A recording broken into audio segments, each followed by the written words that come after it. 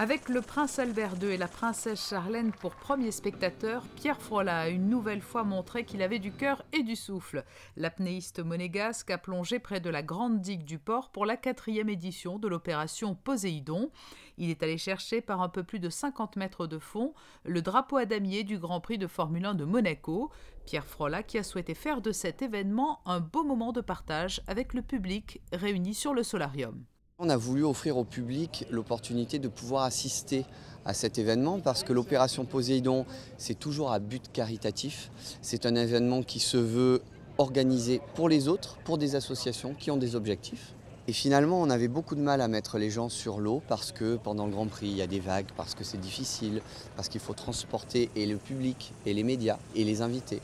Donc on a décidé de le faire sous le Fort Antoine, un endroit où on pouvait accueillir énormément de monde je dirais presque au détriment de la performance, mais la performance est un élan euh, commun, c'est un élan fraternel où tout le monde plonge ensemble. Donc c'est terminé, on ne descend plus à 100 mètres pour chercher le drapeau, on descend moins profond, mais on va chercher un symbole et c'est ça qui est important. C'était d'autant plus difficile qu'aujourd'hui la mer a été très très très mauvaise. On s'est demandé si on n'allait pas annuler ce matin. Et euh, il y a quelque chose qui a été dit par un membre de l'équipe qui est tellement évident. On n'a jamais reculé, on n'a jamais dit qu'on abandonnait, on ne va pas le faire maintenant.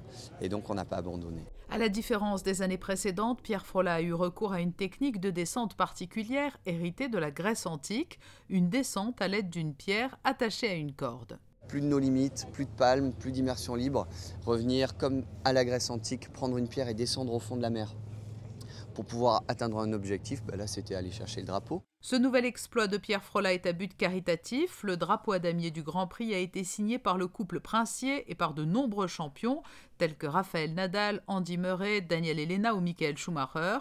Il sera mis en vente en juin avec d'autres lots dont des photos de Sébastien Darras et une œuvre de Belinda Bussotti au profit de l'association Aequalia dont les actions sont destinées aux populations vulnérables qui n'ont pas accès à l'eau potable.